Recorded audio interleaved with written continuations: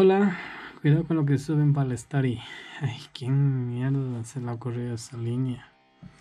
Bueno, el día de hoy vamos a hablar de Mouse, una novela gráfica de Art Spiegelman, ganador del premio Pulitzer, el único cómic ganador del premio Pulitzer.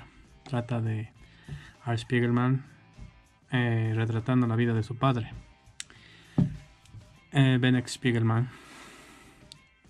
Como podemos ver aquí está él representado como ratón. Se representaron los judíos como ratones polacos y este es su padre contándole y toda la historia va de que le va contando más o menos cómo sobrevivir a un campo de concentración y tiene una estética muy buena, blanco y negro.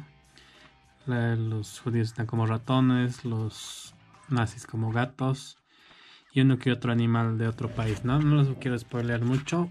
Tiene muy buen arte y la historia es atrapante. Y no.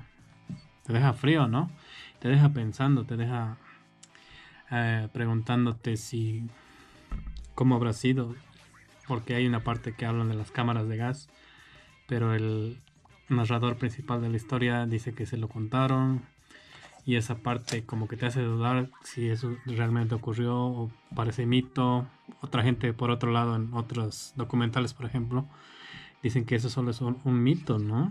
Pero te pone a pensar si ha sido verdad o no, porque mucha crueldad, digamos, se puede ver aquí. No es violento, gore ni gráfico, pero tiene un eh, ¿cómo te digo? Tiene un aire de terror psicológico, de que te pone en los zapatos del protagonista. Y aquí está Hitler representado por un gato y con su bigote. Muy cabrón, ¿no? Y este es un compendio de sus dos obras, Mouse 1 y Mouse 2, y también hay uno después que también les voy a traer, que es MetaMouse, que sería como el detrás de cámaras y todas esas cosas. Pero recién lo voy a ver bien. Y también posteriormente voy a traer desde el otro lado, ¿no? De la versión de, de los nazis, a ver qué dicen. Porque siempre hay dos lados en una historia, ¿no? Para saber cómo ha sido en realidad. Pero les recomiendo también esta novela gráfica de los campos de concentración historia de amor, tiene todo. Por eso ganó el premio Pulitzer. Y también, referencia en la cultura pop, también apareció en Los Simpsons. Junto a Alan Moore aparece Art Spiegelman. Así que vayan a comprarlo, está más o menos unos 25 dólares sería. Y son 295 páginas.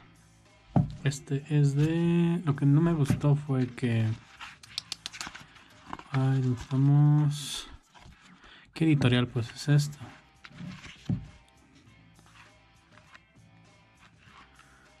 Lo que no me gustó fue que...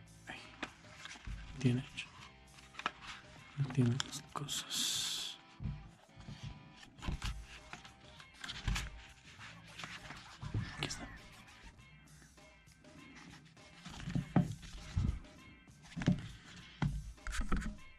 Bueno, este es Penguin Random House, impreso en Argentina, 2016. Um, Esta impresión es de 2016. Segunda edición, mayo de 2019. Hay algunas palabras, parece que estuviera mal traducido. Por ejemplo, el be, el verbo be, que ser o estar. A veces está como ser y a veces está como estar. Donde tiene que ser ser, está como estar.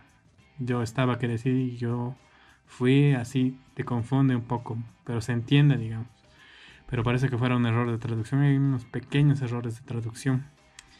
Y es un poco molesta, pero al final no deja que la historia fluya, ¿no? Porque lo que impacta aquí son las imágenes. Y eso sería lo único malo del libro. Pero bueno, eso es todo por hoy y nos vemos en la próxima. Compren, compren.